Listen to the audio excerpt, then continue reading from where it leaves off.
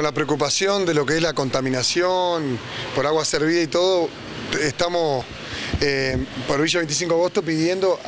también por los vecinos que han solicitado ¿no? el saneamiento de una parte que falta del río de, 25 de Agosto y la que da más bien para el río Santa Lucía, ¿verdad? Sabiendo que el proyecto de saneamiento se dio en San Ramón y en Freimarco, que son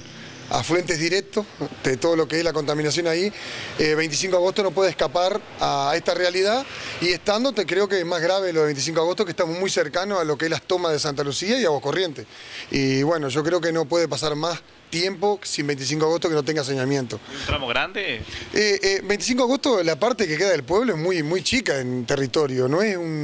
una cosa de, muchos miles de dólares, no es la magnitud de Freimarco. Hacer una población de 2.000 habitantes y la mitad casi está toda, falta la otra mitad que es la más cercana a la estación del ferrocarril, ¿verdad? Y hay una problemática que viene hace años arrastrando, que es el tema de la Escuela 47, que en el Consejo de Ministros muchos alumnos protestaron porque, y pidieron a las autoridades que la escuela cada vez que, eh, llega el comedor, eh, la cámara que hay enfrente a la escuela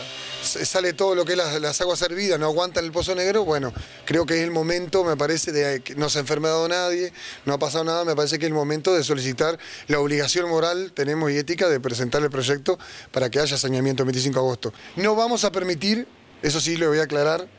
porque en primera instancia hace mucho tiempo lo pedimos y por un tema presupuestal no,